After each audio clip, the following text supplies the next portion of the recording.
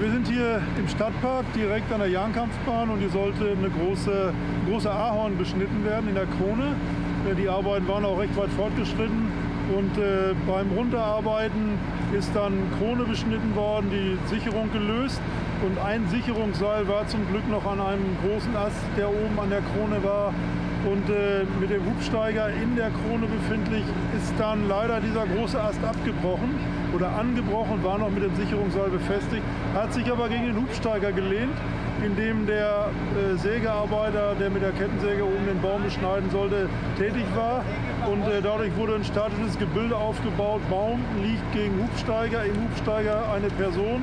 Jede weitere Bewegung am Hubsteiger hätte zum Absturz führen können. Deswegen sofort alles eingestellt. Feuerwehr mit einer sehr aufwendigen technischen Rettung.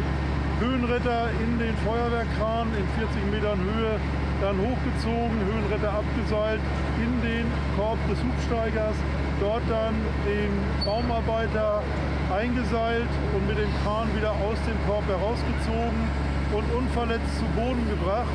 Somit also die Menschenrettung jetzt abgeschlossen. Nächste Stufe wird sein, wie wir uns um die technische Bergung des Hubsteigers kümmern und äh, dazu bedarf es einer umfangreichen technischen Planung.